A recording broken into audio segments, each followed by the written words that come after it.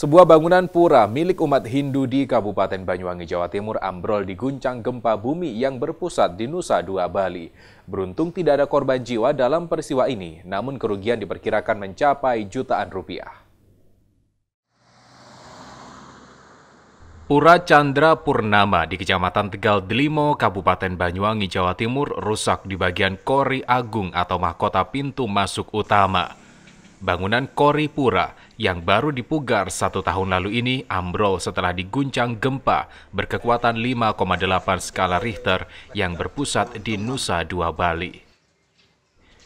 Pengelola Pura Chandra Purnama kesulitan mencari bahan baku batu beton sebagai ganti Kori Agung yang rusak. Karena bahan baku harus didatangkan langsung dari Pulau Bali dengan harga dan biaya jutaan rupiah. Keberadaan Pura Chandra Purnama sendiri sangat menunjang kegiatan keagamaan umat Hindu, khususnya upacara keselamatan.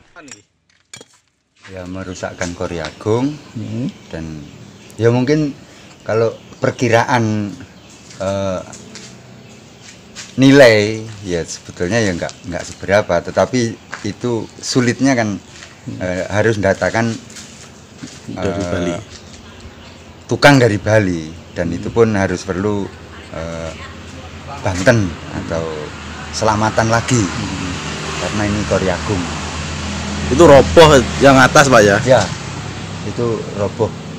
Tapi separuh. Separuh ya. Enot Sugiharto Kompas TV Banyuwangi Jawa Timur